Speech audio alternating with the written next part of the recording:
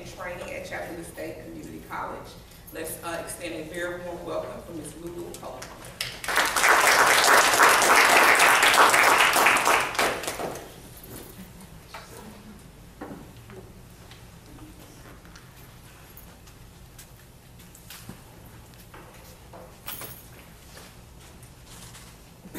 Good evening. I'm so glad to be here with you on International Women's Day and during Women's History Month. That's pretty awesome. After working at Chattanooga State for 20 years, my thoughts on education have matured somewhat. I think I have to.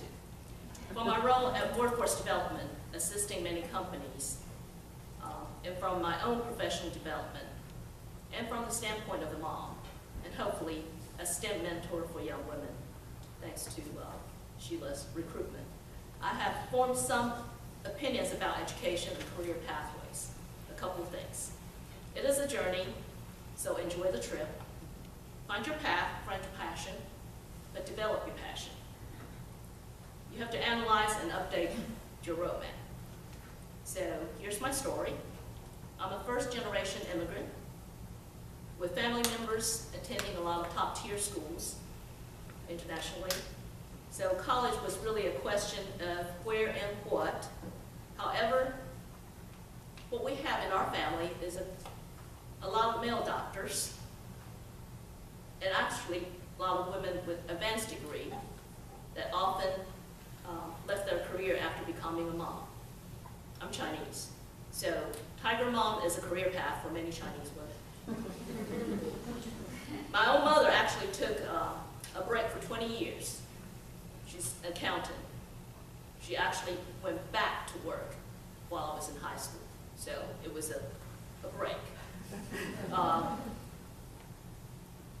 so back to me. Since I was good in math and not bad with art, I thought architecture made perfect sense. So applied, so I actually attended Hixson High School. So when we immigrated, uh, we ended up here in Chattanooga. So after Hixson High School, decided to go to architecture. So I um, looked at Georgia Tech and looked at UT. And infinite wisdom, I went to UT following a boyfriend that's not my husband now. so see, it's a journey. But I also, in my infinite wisdom, changed my address after first year in college when I, well, my, my family moved to New York. well, they actually dropped me off and went, keep on going on 81. so that summer when I went home to take a job, thought I would transfer my mail. Well, since I was not a citizen, UT decided I had to pay out state my second year when they found out my address is New York City. so then I had to transfer back to City College of New York. And, but I had some great classes because the, um, the faculty at City College also taught at Cooper Union. So uh, some of the classes I took in architecture was a, joint classes with Cooper Union, so that was pretty cool. But as I was finishing my last year in architecture, I discovered job opportunities for architect students was actually not abundant. And the sales role related to architecture could actually be pretty brutal. So one of my least favorite part of architecture program is actually those uh, design presentations. So how it works is after slaving for weeks, or sometime month, uh, on your project, and this is before CAD, okay, I'm old. Uh, so you do inking on vellum, and then you go into a room and you have to take your drawings up. And you have to uh, defend your design. And they throw questions at you. And so if it's a big project, there'll be multiple faculty, and then sometimes students are made, your fellow students are made to you too. so, so that's when I discovered that maybe I don't want to stay with it, so I switched to engineering. my, my dad was thinking, well, you could have gone to med school. so, but time I found engineering to be, I, I really like the black and whiteness of engineering more so than the design of architecture. And, you know, it's just personal preference. But on side note here, I thought what I don't like about architecture is doing the sales pitch. But then, now I realize my current job, I'm selling education and training too, so, so who knows? So after deciding on engineering, I um, stayed with, um, I was trying to decide on electrical and mechanical, but um, again, I'm a people follower. I follow fellow students and professors and stuck with mechanical engineering. And a professor helped me get an internship at TVA, and that became a permanent job after college. Um, and then after TVA, well, actually, three years into TVA, I decided I would grow as an engineer more if I find something smaller than TVA. So um, I went with a staffing company and ended up at Olan Mills. Um, I don't know if people here know, Olan Mills actually designed their own processing equipment. So I ended up at Olan Mills for 20, uh, I mean, 13 years. So during that time, like I said, this is a journey, right? During the time, I decided I need to probably uh, get a master's degree. So I tried electrical engineering, tried mechanical engineering, and then some MBA classes when I was, uh, got promoted to, into management. And then at that point, I was implementing CAD for all the Mills. So I set up the network. So I thought, well, maybe I'll try computer science. So engineering, I didn't finish.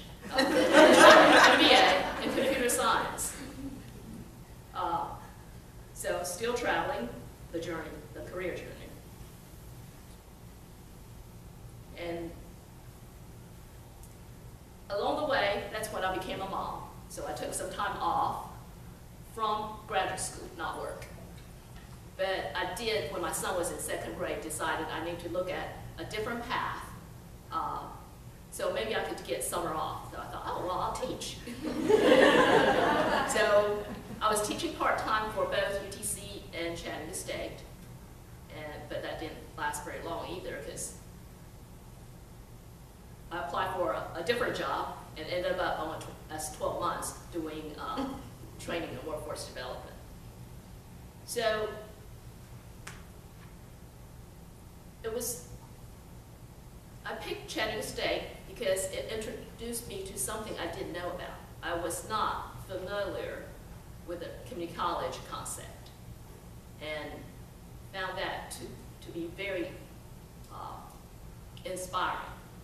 One of my first project was DuPont.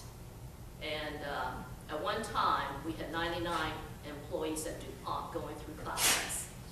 Um, and most of the employees in that training program, some might have um, done some college work, but mostly never thought about going to college.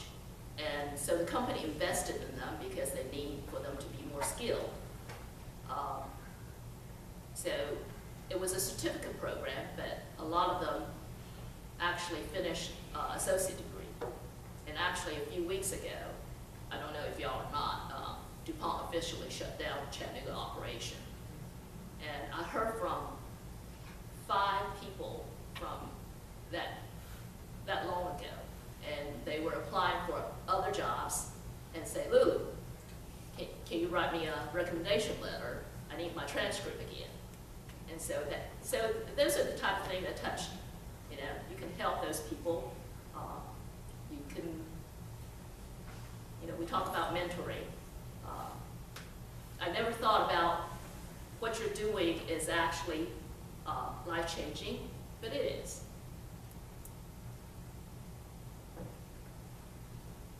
So then also, while I was at Olan Mills, you know, just because I was a manager of that department, I talked a lot of people into continuing their, their education program.